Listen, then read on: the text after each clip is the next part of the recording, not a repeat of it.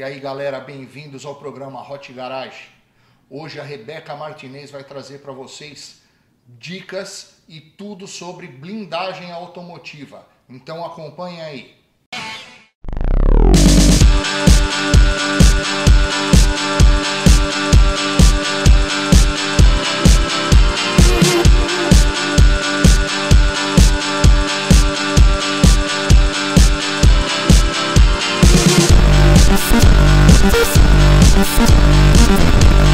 We'll be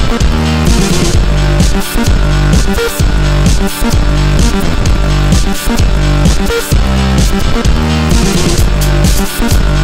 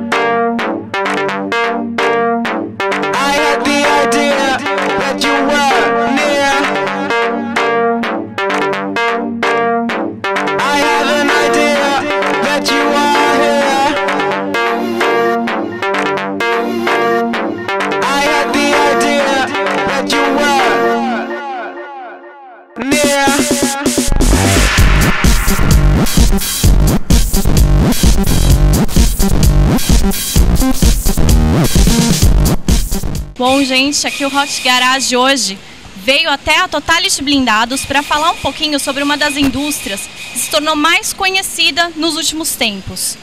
Então, assim, os blindados se tornaram notícia e também um tipo de veículo muito utilizado pelas pessoas, principalmente nos grandes centros.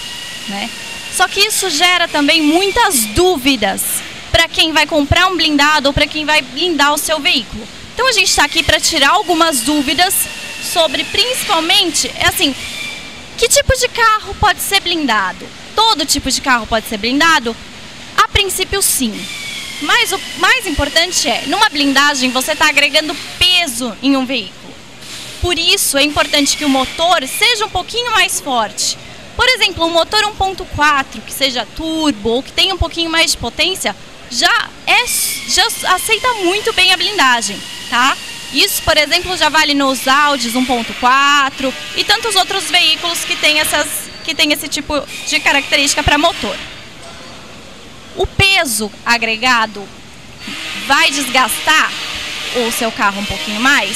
Olha, não tanto quanto o que é muitas vezes comunicado, mas sim é necessário fazer a revisão do seu veículo, né? Porque é como se o seu veículo estivesse sempre carregado. Então você está sempre utilizando ele. Mas isso não é uma coisa que interfere altamente no, no uso dele. Outra parte importante na hora de escolher blindar um veículo é saber sobre o nível da blindagem que você vai realizar. O nível da blindagem, ele é, percebe, ele é uma referência da norma NIGE, que é uma norma americana. E a gente utiliza aqui no Brasil a mesma norma. E para isso, a norma NIGE, ela caracteriza como nível 1 veículos que têm uma prote... veículos não, né? Materiais de blindagem que tenha proteção para o 38 e também para o 22 milímetros, tá? Já o nível de blindagem mais usado nos veículos, principalmente aqui no Brasil, é o, a no- o nível 3A. O 3A, ele é quase quatro vezes mais resistente do que o nível 1. Ele aguenta, ele segura tiros de uma 22, uma 9 milímetros e inclusive a 44 Magnum. Então por isso que ele é um, que tem o melhor custo-benefício para quem está blindando o veículo. Porque o processo para blindar, tanto para o nível 1 quanto para o nível 3A, é o mesmo. Tá? Outra coisa muito importante é falar sobre a documentação na hora de blindar o veículo. Você tem que ter, você tem que levantar todos os dados, as blindadoras vão exigir que você entregue para elas comprovantes de endereço e tudo isso autenticado atualmente porque é uma regra do exército, tá? Aí é, essas blindadoras vão pedir uma autorização para blindar o veículo. Com essa autorização, ela pode pegar o seu veículo e realizar a blindagem. Depois disso, eles vão emitir, depois que finalizaram seu carro, eles vão emitir uma declaração de blindagem com o Exército. E esse documento tem que ficar com você e deve ser guardado. Que na hora de vender esse veículo de novo, todo mundo vai pedir essa declaração, inclusive as notas fiscais da blindagem.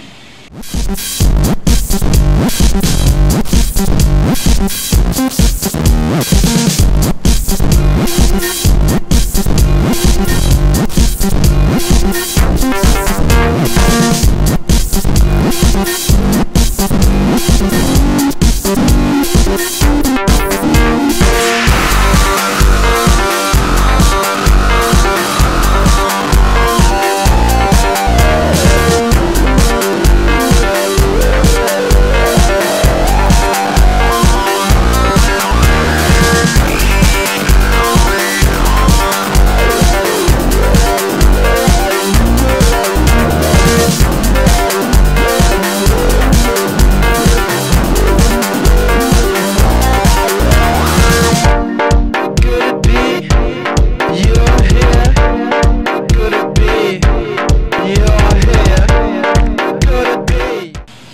gente, é, a parte do exército é isso, né? Você tem que ter essa declaração e guardar com você é muito importante, porque essa documentação é um RG dessa segurança do seu carro, tá?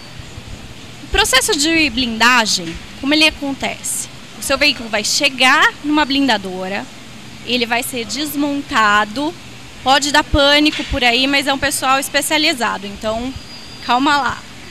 Então, a partir disso, eles vão começar a instalar os anteparos balísticos no seu carro, tá? E sempre é muito importante que esses anteparos eles sejam sobrepostos, tá? Por quê? Porque a sobreposição evita aquelas bordas frágeis que poderiam permitir a passagem de um projétil no seu carro, tá? Outra coisa bacana de saber é que os vidros blindados, eles têm dois tipos no mercado. Tem o vidro que é o mais comum de se encontrar, que é um vidro que tem policarbonato. Esse policarbonato, ele é acoplado ao vidro num processo feito numa estufa, ou seja, com temperatura e pressão.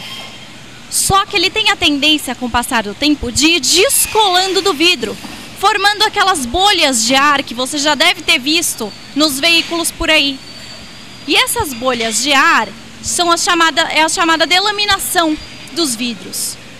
Não é um risco enquanto ela não for muito grande. Agora, a partir do momento em que essa delaminação cresce e se toma mais de um, um pedaço muito grande do carro, o que acontece? Você pode ficar mais suscetível a a uma bala, algum projétil. Então você tem a perda dessa proteção. É por isso que há muita gente fala, ah, mas o por que, que ele está vendendo mais barato se o vidro dele está delaminado? Ele está vendendo mais barato porque ele sabe que vai ser necessário passar por um processo ou então trocar, substituir por um novo vidro esse vidro, tá? Isso acontece principalmente nos lugares muito quentes, porque o calor é o principal fator na hora de facilitar e acelerar o processo de delaminação. Tá legal? O outro vidro que existe no mercado, ele usa uma, um outro componente, que ele é um componente plástico. Esse se chama Spall Shield. E o que, que é? Na hora que esse vidro é colocado sobre temperatura e pressão, esse vidro forma um conjunto balístico que não se solta. Ou seja, você vai ter aí 10 anos, 5 anos, 7 anos, o tempo que você ficar com o veículo, ele não vai delaminar. E mesmo muito depois disso, porque a gente já até conversou com o pessoal da fábrica que produz o Spall Shield, eles já têm em teste um vidro Spall, com Spall Shield desde 1995. E o vidro não delaminou.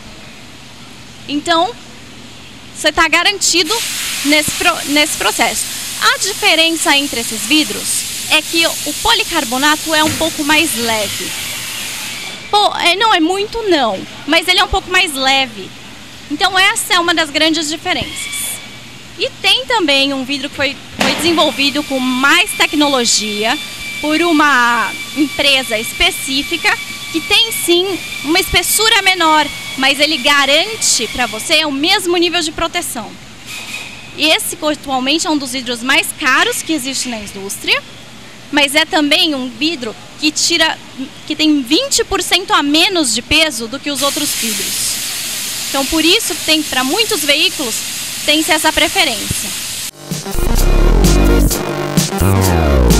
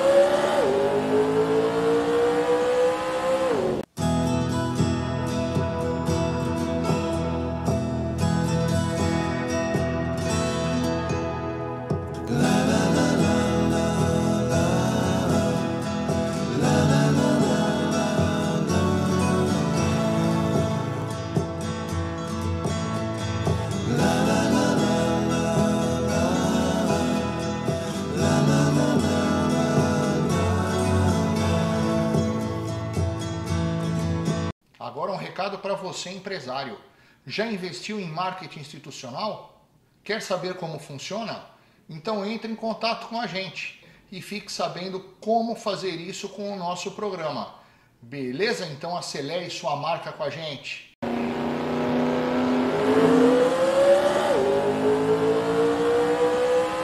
Nesse processo todo de blindagem. É importante saber que as blindadoras elas não mexem na parte do painel do veículo. Então a parte de painel, câmbio, a parte mecânica, ela não é alterada pela blindagem. O que acontece? O que se coloca nos veículos é um calço para que o veículo não fique tão baixo por causa desse peso agregado. Mas não, ou algumas vezes, tá? Porque alguns veículos não aceitam o calço, é necessária a troca, a troca, a troca das molas do veículo. Mas esses são bem são raros os casos em que isso acontece. Outra coisa que é necessário saber: pneu. Pneu é blindado? Na hora que você compra esse blindado, não, não é que o pneu é blindado. O que é colocado nos pneus é uma cinta, chama cinta de roda. Essa cinta é uma cinta metálica que ela faz com que o seu pneu não se solte da roda. Então você vai ter uma quilometragem a mais que você vai poder rodar em segurança, tá? Sem causar tantos danos ao veículo e para você poder só escapar. Então ele não é feito para você sair, ah, eu fui até São Paulo, sofri um, um problema, eu tô voltando para a praia para resolver. Não, seu veículo não vai aguentar esse trajeto todo, né? Essas pneu, ele só é segurado ali no lugar para não causar tantos danos e para que você possa ter para você poder escapar realmente daquela situação de perigo, tá? E importante é, na hora que você comprou o seu veículo, tá com ele prontinho para usar. O que, que você não deve fazer com um veículo blindado? Você nunca deve bater a porta com o vidro abaixado. Por quê? O vidro ele é mais grosso, então existe sempre o risco da quebra da aba desse veículo, né? E, esse, e essa trinca é uma trinca muito característica, que tanto as seguradoras quanto as empresas de blindagem, elas já sabem é, como que ela é caracterizada. Se for inclusive periciado o veículo, vai constatar que foi por uma porta que foi batida. Então é muito importante ter essa consciência. Meu veículo é blindado, eu vou bater a porta com vidro fechado. E outra coisa, por dentro do vidro tem aquela laminazinha que é como se fosse um plástico que recobre ele. E essa pequena lâmina, ela serve para que os estilhaços, no caso de uma de um assalto ou de uma intervenção com projétil, que ele não chegue em você. Então, essa lâmina, ela é um plástico e ela é sensível. Se você colocar um GPS fixado, aqueles que você vai pá, coloca com pressão no vidro, ele pode ficar marcado e essa marca não sai mais do vidro. Então por isso que é importante também ter essa atenção. Você não pode passar qualquer coisa que seja bicuda, você, se pode marcar sim o carro. Principalmente ficar atento com porta-malas, na hora de colocar aquelas malas pesadas da viagem, que vão dar aquela escorregadinha e ficar ali, ó, brigando com o vidro. Então, nessas horas, fica a marca. Tá? Então é importante, porque o único jeito de solucionar isso é com a troca do vidro. Então, assim, você vai ter um custo desnecessário, né? Esse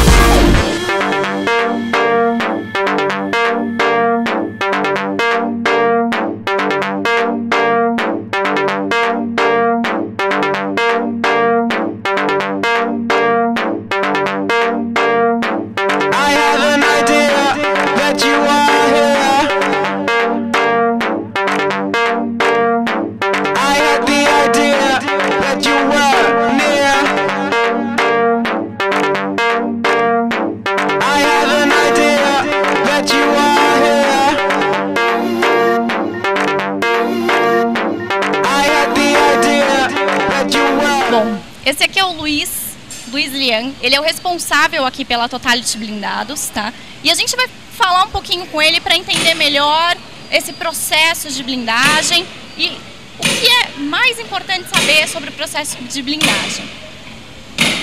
Bom, todos os nossos projetos são estudados e elaborados para a gente ter um veículo principalmente seguro, né?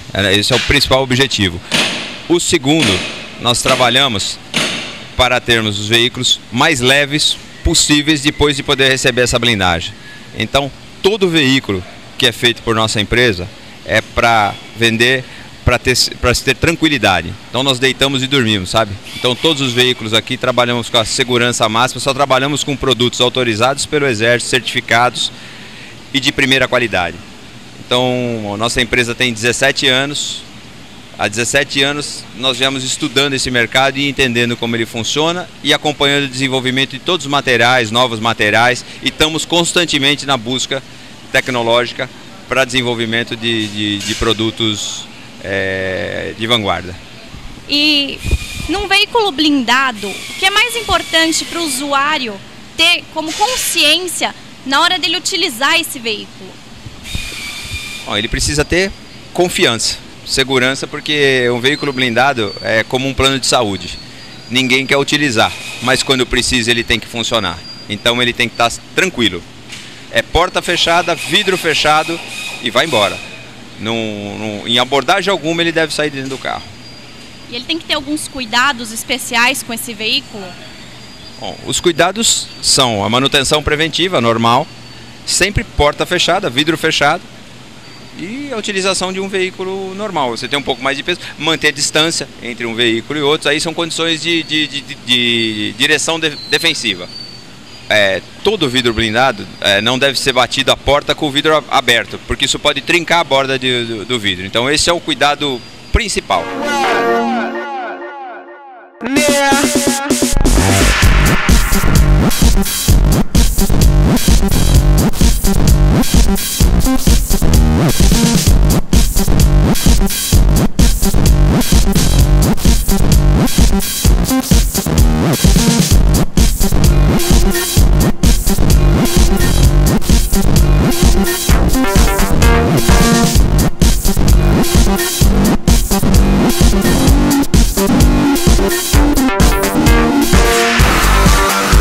Bom, gente, agora vão umas dicas valiosas na hora de comprar um veículo blindado usado. Porque a gente sabe que esse mercado também tem algumas alguns poréns. Se você vai comprar um veículo usado, primeira coisa que você tem que checar é se ele tem toda a documentação de blindagem, né? Porque aí você vai saber que tudo foi feito de acordo, que os materiais que você, aquele material que você está comprando, que foi empregado no seu carro, ele é válido, né? E também é, você tem ali os prazos das garantias, você vai ter é, como contatar um fornecedor que você tem algum problema com vidro, alguma coisa. Então, assim, isso aí é, é a primeira coisa que você tem que olhar. A segunda é, achou o carro que você quer? Vamos para lá e vamos olhar esse carro. Fazer um test drive ele é imprescindível em qualquer carro. Mesmo num zero é ideal, né? Para você saber se a mecânica dele te agrada, se tem alguma coisa que você percebe que está errada, né? Porque os veículos têm que ser cuidados. Num usado também, é o principal. Nas partes de blindagem, o que você tem que saber? Ele já sofreu alguma batida ou não? Por quê? Porque nas batidas, se for uma batida muito séria, a hora de você reparar esse blindado, você tem que mandar para lugares especializados para que não aconteça o problema da pessoa retirar a blindagem, consertar a lataria e deixar sem a blindagem nessa parte que sofreu o dano.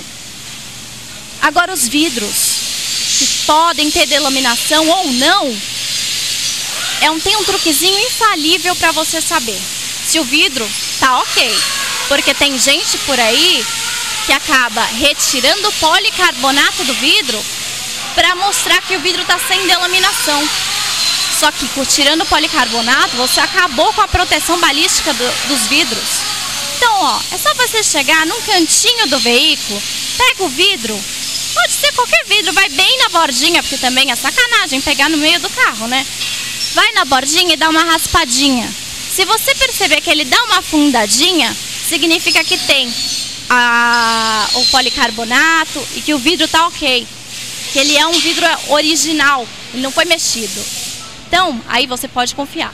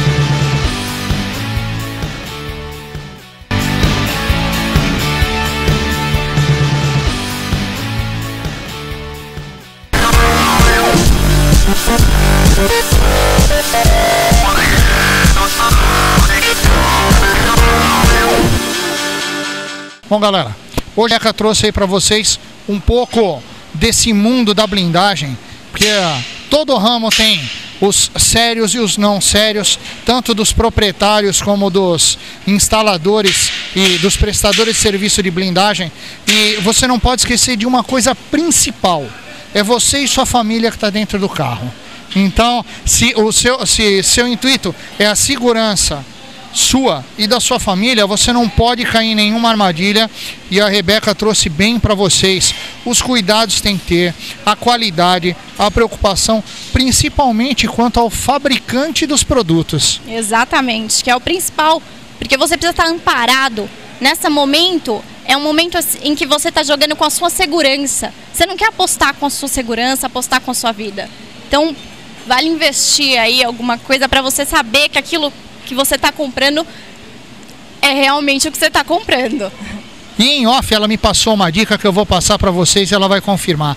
Quando você comprar um carro zero e for mandar blindar, o que, que ele deve fazer antes de blindar o carro, Rebeca? Pô, é importantíssimo você fazer um test drive nele zero, né? Até antes da compra, gente. Porque você precisa saber quais são as características desse veículo, a maneira como ele se comporta. Porque tem alguns barulhinhos que não provém só do fato dele ser blindado. Tem alguns barulhinhos e alguma, alguns comportamentos do veículo que são, já são características do fabricante do automóvel. Então tem coisas aí que não dá pra, pra gente mexer também, né?